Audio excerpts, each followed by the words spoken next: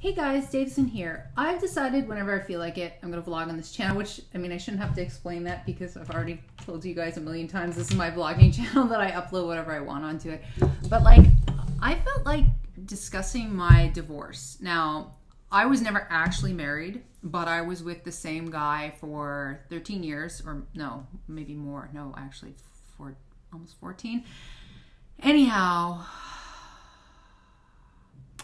it was a really tough decision to leave that relationship. Um, we went back and forth for years. Now, I don't know what I want to get into in terms of like particulars of like at what point did I leave? Did I leave for different reasons at different times? Did he try to leave me? Yes, all of the above is is true. But I think ultimately what was preventing me from leaving is what I want to address today. And it's a couple things. So, first off, it was the fear of not being able to take care of myself. I am a person that's sometimes anxious and I fear that something bad could happen to me. I could get hurt. My parents were always like really like freaked out about like you have to be careful. You have to be responsible. Don't get too excited or something bad will happen, especially my dad. And um, so I kind of grew up as a person who's like hyper vigilant, like, oh, oh my god, okay, oh, what could hurt me? What could, which is great because like it's very self protective, but it's bad because then things that really are of low risk, you turn into like a big deal when it's just the stakes are not that high and it is not that likely that something, you know, horrible is going to occur. So I think I just thought given my anxiety and given my relationship with this this man um, that i would always seek reassurance from him like oh my god across the street funny. Uh, this is what happened. Do you think that i was stupid? And he'd write back and be like no you're fine. And then i'd feel better instead of just reassuring myself right? Or that it's scary to be a woman you know alone in an apartment you know although i'm not alone because my son is here but like and having to take care of anything that could possibly happen. Something could break so the fire could break loose. Uh, I, I don't know, someone could break in and it's just me. Well, me my son, my giant son who's like almost six four. But um, can't I can't deal with that. I need a man. I need a I need a man to protect me. I, I need a man to be there. I need a man. Like, what if I collapse and then no one comes home and then it's just me and a lump on the floor? I gotta have a man. But I didn't realize that. No, you, you, you that, that shit could happen any time of the day. And you know, people go to work, people go on business trips, and I needed to man the fuck up and get over fear. So first was basically fear for my physical safety and emotional issues about you know I can't cope with this shit on my own, which is just preposterous. And I, I believe I'm starting to get a rein on it. I've had a few moments where I've been scared, but I've reassured myself, and I think this is going to be like an opportunity for immense personal growth. Okay. Secondly, attachment. When you were with someone your entire adult life, I started going out with them when I was like 24 or 25. Holy 24. Holy shit, eh? 24. I was a baby. Um, they become part of the story of your life. They know you in a way that nobody else knows you. And my family has not always been like the most reliable for me. They can be very supportive if I ever need to hit them up, you know, financially or whatever. They're they're there for me. Um, but like, they raised me to be very independent, very fierce, a fighter, a questioner.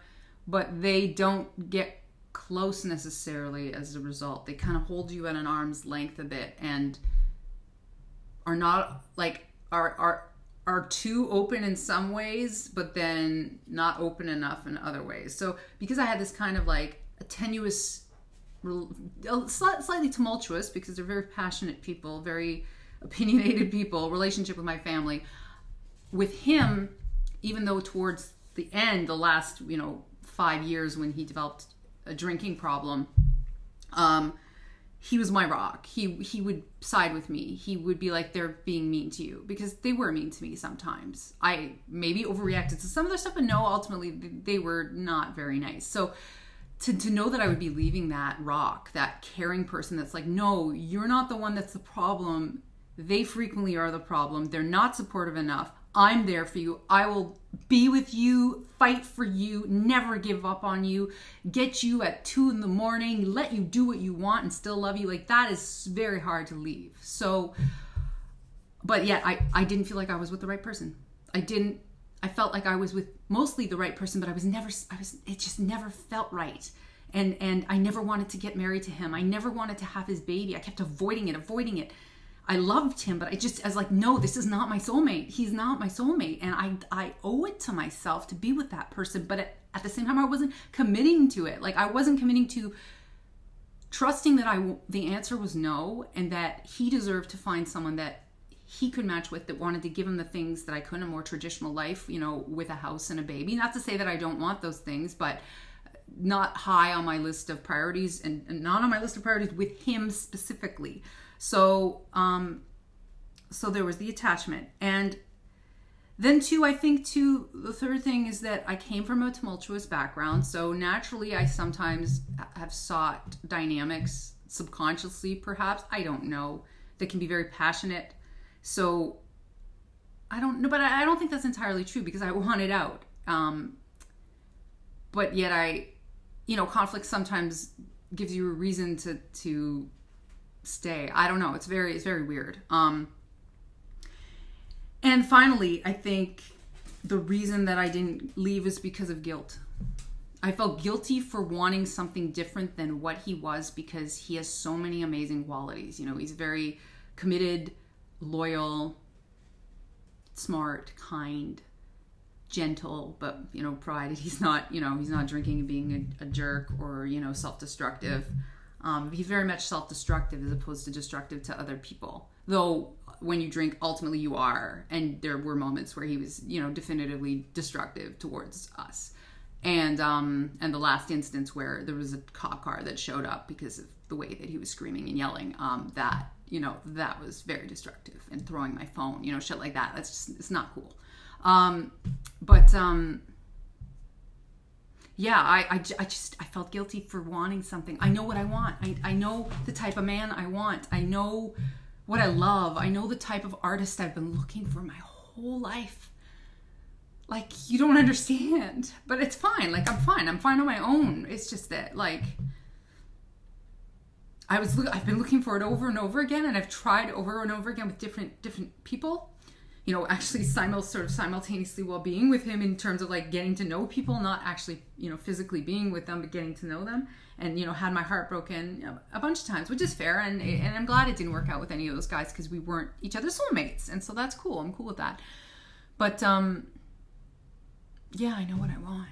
And I want someone who works with me. They don't have to work with me every day. I would love, I love to have my space, but that someone meets me here and then we go like this and we meet and we have this vision and we bring other you know things into each other's lives that are interesting and innovative. And you know we're like Die Antwoord that couple. You know they, they make such fucking freaky ass shit together and they're so they're so right. Like that is what i want for myself and god damn it i will be alone for the next x amount of years until that happens. I want not i'm not settling this time. I'm not doing it. I'm not i'm not not that he not that he was a, settling in a, in a horrible way. Like I don't want to I don't want to pin negative things on him that aren't true because he helped me raise my raise my son and I think that also kept us together too because it is very hard to be a single mother. Um, and he made my son a very kind, responsible young man because he himself is a kind, responsible man. Um,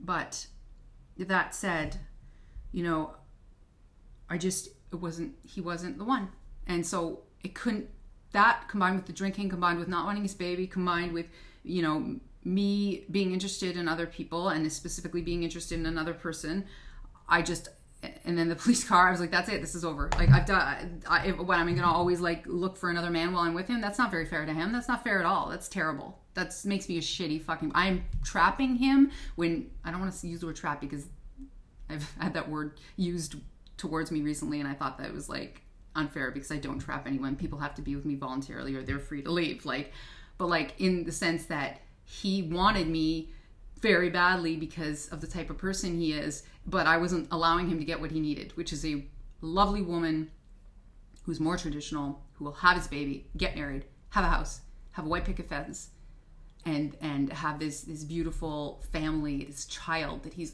baby that he's always always always wanted is his, that is his blood, and I I was not going to give it to him. So I let him go, and I think that is the most fucking noble thing I can do. And it, because of letting him go, I think he's gonna face his fucking drinking problem. And um, I, I just I want the I want the best for him, and I want the best for myself. And I, you know, I wasn't like the type of person that was gonna just give up. You know, it's like you gotta fight for your relationship, you to fight for your love. You, you know, people give up too easily. There's all these like notions of that, but like him and I passed that point where it's like, no, like you know what you want, Davison. It made Davison. You know the man that you love, and it ain't him. Cut the fucking bullshit.